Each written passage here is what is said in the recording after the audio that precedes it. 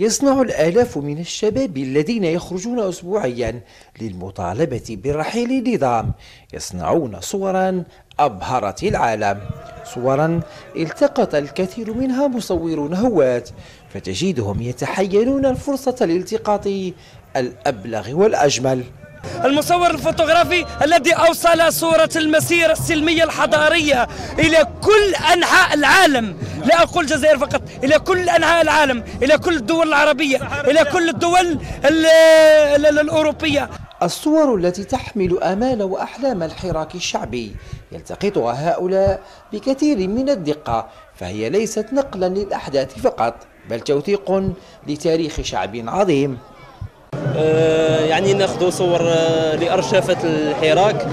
أيضا هي تكون صور عبارة عن صور فنية.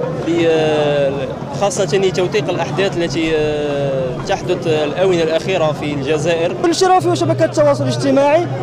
تاريخ للتاريخ الشعب يعيد كتابة تاريخه. تفضل.